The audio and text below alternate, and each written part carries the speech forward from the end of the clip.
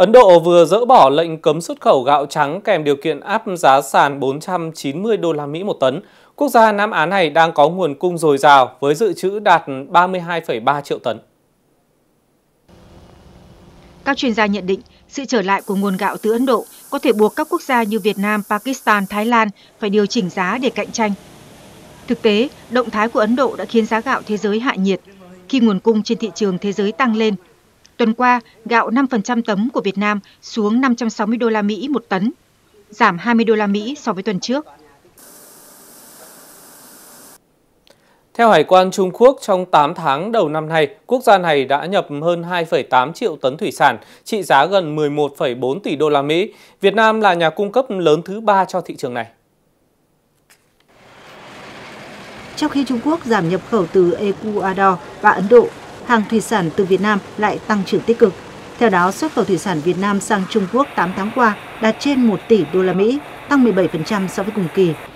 Cá tra và tôm chân trắng là hai mặt hàng chủ lực với doanh thu lần lượt đạt 350 triệu đô la Mỹ và 180 triệu đô la Mỹ. Các sản phẩm khác như tôm hùm, cua, ốc, nghêu sang Trung Quốc cũng tăng mạnh. Việt Nam đang là một trong những quốc gia có hệ sinh thái khởi nghiệp có tiềm năng rất lớn. Tuy nhiên, đối với những doanh nghiệp trẻ vẫn còn lúng túng và gặp rất nhiều khó khăn trong hoạt động khởi nghiệp. Xuất phát từ đó mà có rất nhiều mô hình cuộc thi đã được đưa ra à, nhằm hỗ trợ và tạo ra cơ hội kết nối cho các bạn trẻ tìm kiếm cơ hội. Theo báo cáo chỉ số hệ sinh thái khởi nghiệp toàn cầu năm 2024, Việt Nam xếp thứ 31 tăng 2 bậc so với năm 2023 trong bảng xếp hạng chỉ số hệ sinh thái khởi nghiệp toàn cầu, xếp thứ 5 Đông Nam Á và thứ 12 tại khu vực châu Á Thái Bình Dương. Với nhiều thế mạnh, Việt Nam đang là một trong những hệ sinh thái lý tưởng cho các bạn trẻ tìm kiếm cơ hội khởi nghiệp. Tuy nhiên, theo Trung tâm ứng dụng tiến bộ khoa học và công nghệ thành phố Hồ Chí Minh, mỗi năm tại Việt Nam có khoảng 1.000 dự án khởi nghiệp được đăng ký, thế nhưng có đến hơn 90% số đó thất bại khi bước vào con đường khởi nghiệp bởi nhiều lý do có rất nhiều cái vấn đề mà mình phải đối mặt. Ví dụ như là cái vấn đề về pháp lý, cái vấn đề ờ, về tài chính, về mô hình, về cái việc mà tiếp cận với người dùng như thế nào, nó có ti tỉ cái vấn đề xung quanh đấy. Cái thế mạnh của người trẻ đấy chính là bọn mình rất là nhiệt huyết và bọn mình có thể dành nhiều thời gian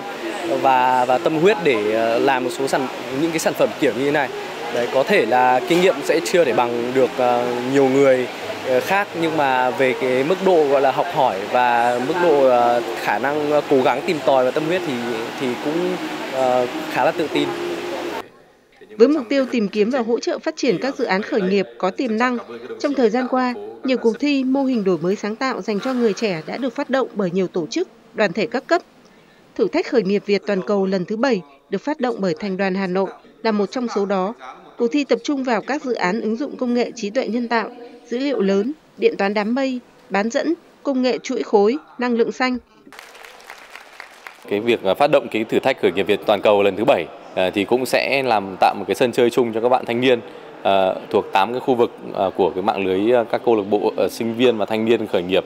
chuyển đổi số và đổi mới sáng tạo. Thế và sản phẩm đầu ra sẽ là những cái giải thưởng liên quan đến chỗ ngồi làm việc rồi là credit hosting Đấy, rồi là những cái phần uh, cam kết đầu tư đến từ các quỹ đầu tư mạo hiểm à, thì cái này cũng là những cái rất là thiết thực để mà cho các doanh nghiệp của chúng ta từ ghế nhà trường rồi từ các doanh nghiệp nội bộ các doanh nghiệp à, và các cái cộng đồng các vườn ươm thì có thể là tiếp cận được cái nguồn vốn nó thiết thực hơn và xây dựng những cái sản phẩm được thị trường đón nhận. Không chỉ nhận được hỗ trợ từ các cơ quan nhà nước, chính các bạn trẻ cũng đã tự mình thành lập các dự án kết nối và tìm kiếm cơ hội, hỗ trợ cho các dự án khởi nghiệp. Nằm trong top 10 dự án khởi nghiệp xuất sắc nhất cuộc thi khởi nghiệp iStartup 2024, Tưới Fund là nền tảng gây quỹ từ thiện và gọi vốn cộng đồng cho cá nhân, dự án xã hội và ý tưởng khởi nghiệp sáng tạo được sáng lập bởi chính các bạn sinh viên. Dự án sẽ giúp kêu gọi, kết nối các nhà đầu tư, sự đóng góp của cộng đồng cho những dự án khởi nghiệp có tiềm năng qua các mạng lưới mà các bạn xây dựng